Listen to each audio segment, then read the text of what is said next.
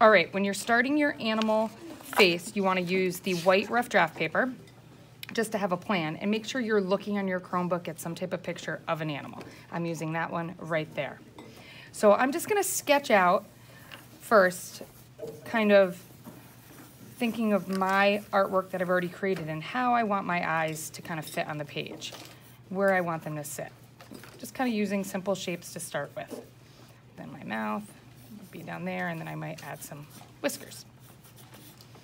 Once I have a plan down, then I can start going, okay, I'm gonna start with my eye. So I'm gonna put that paper to the side. And my eye, I really wanna take up most of this paper. So this is like more like an oval shape. If I wanted a little bit more cat, I can give it that shape. Just starting. I don't have to worry about anything on the inside. I'm just looking for the outside edge. If you're happy with that, then move on to the, the real paper. Real paper is gonna be on the supply table. It's a little thicker. So I'm gonna look at this and the actual drawing and see if I can replicate that.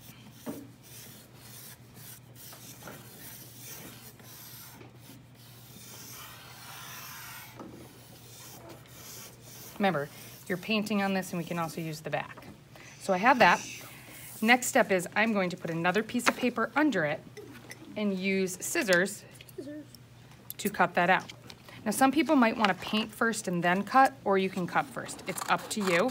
I just wanted to show you the cutting, how you can put two pieces together and cut at the same time. If you want to add a little bit of tape to that, you can. And then once you're done, we can start looking at paint colors and examples for that. And you can see, I'm going to end up with two.